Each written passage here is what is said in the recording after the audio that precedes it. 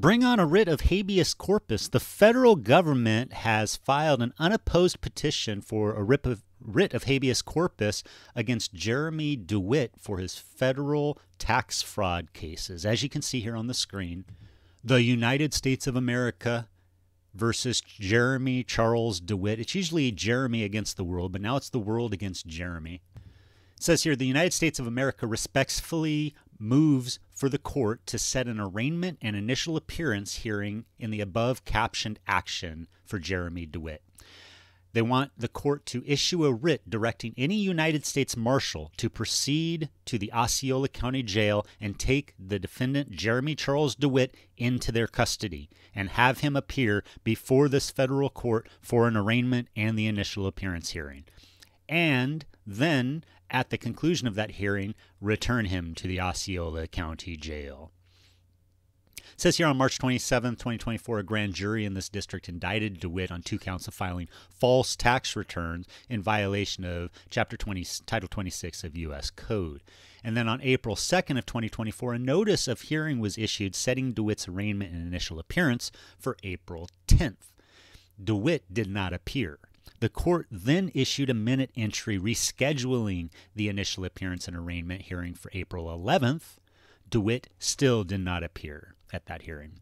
Then on April 11th, the court issued a bench warrant commanding the United States Marshal to arrest Jeremy Dewitte and bring him forthwith to the nearest magistrate to answer for these charges and for failure to appear. But since then, Dewitte has been detained in custody at the Osceola County Jail in Kissimmee, Florida, awaiting hearings and trials as a defendant in several state prosecutions, as we know. And in that regard, although the hearings have been continued several times and based on reviews of the state court dockets, the trials in two cases are scheduled to begin on August 19th. That's next week, people, with another trial scheduled for September 24th. It says, so there is not further postponement of Dewitte's arraignment and initial appearance in the federal case. They say it is necessary to have Dewitte brought before this court for those matters. And then the undersigned counsel has conferred with counsel for Jeremy Dewitte, who does not oppose the relief requested herein. So it appears that Jeremy Dewitte will be arrested soon by federal marshals and taken out of the Osceola County Jail and brought to the Orlando District Division of the federal courts to be arraigned in his initial appearance. And this was signed by Assistant Chief David Zisseron And then to aid in their request, they have issued a writ of habeas corpus to any United States Marshal and to the warden of the Osceola County Jail, Warden G.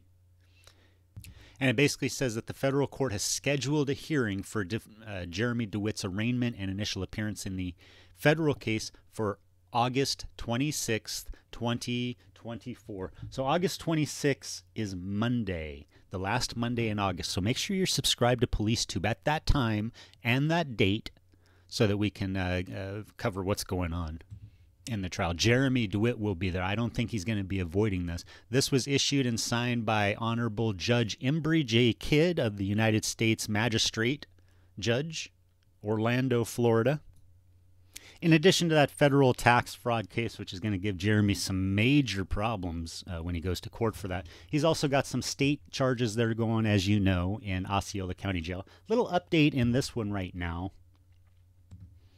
There's a couple new documents on the docket uh, the defense witness list and the notice of taking depositions. And apparently, Jeremy Dewitte is going to use Jennifer as part of his alibi. So the prosecution has sent a letter a demand letter to Jeremy Dewitte's counsel, the um, public defender, Christina Smith, citing Rule 3.2 of the Florida Rules of Criminal Procedure that state if you intend to offer evidence of an alibi in your defense, you are required to serve upon the prosecution not less than 10 days before the trial or at such time as the court may direct a notice in writing of these intentions to claim such an alibi. And the notice shall contain specific information as to the place at which you claim to have been at the time of the alleged offense, and as particularly as is known to you or your attorney, the names and addresses of the witnesses by whom you propose to establish such an alibi. Now, that's for his alibi in regards to failing to report change in vehicle ownership. Now, it looks like Jeremy wanted to use Jennifer perhaps as a witness again for him. The prosecution has filed this notice of deposition, and it was sent to Jeremy Dewitte's uh, counsel that says that Jennifer Burton will be deposed. They're going to be interviewing her about what she's going to testify about on Thursday, August 29th at 2 p.m. at this address. Obviously, she's probably not going to show up. She never does. And if she does, they're probably going to say she's an unreliable witness and she's probably not going to be helping Jeremy much at all on this. I mean, how can J- Jennifer Burton help Jeremy get out of the charge of failing to report the change in his vehicle ownership because he's a registered sex offender from 20 years ago and he's required to register all that stuff with the state when changes happen and he doesn't do it. So how's Jennifer going to do that? Uh, help him. She's going to say she owned the car, she tried to register it, she owned the company. Doesn't make any sense. Maybe that she's the one that rented the car that he wasn't supposed to have or something. There was a motion filed, a notice of intent to rely on certified records filed by the prosecution on August 6th. We haven't looked at that yet. Let's look at that now. They filed this notice of intent to rely on upon business records. And then they list some records here. It looks like the FLHSMV records, which, as we all know, those are the Florida Highway Safety and Motor Vehicle records. The FDLE Digilant, Digilant Search records, that's the Florida Department of Law Enforcement Enterprise records, I believe that's going to be for Enterprise Rent a Car, showing that Jeremy Dewitte is the one that rented those cars. They're also going to be getting the Osceola County jail calls and the Osceola jail calls, the DMARC communications messages. And that's where you can um, message with inmates at the uh, Osceola County Jail. It's the smart jail system. So they're going to be getting his written messages, his recorded phone calls with Jennifer, the signed records and payment records from Enterprise Rent a Car, and then the uh, Florida law enforcement and highway and safety records to use against him at his trial. Of course, we know that the prosecution usually drops the ball on this sort of stuff. I mean, we are dealing with Justin Wayne Collins of the Ninth Judicial Circuit, the assistant state attorney under Andrew Bain. And we all are familiar with Justin Collins, and he uh, hopes to get a plea agreement going. And if he ever has to go to trial, you know, he's probably unprepared because he's overworked and underpaid, and there's just too much documentation. He can't keep it all straight. You know, they want plea agreements. They're like, you know, we're not used to going to trial. We're not litigators. We're just assistant state attorneys. No offense to Justin Collins, trying his best. Give it a good go there, Justin.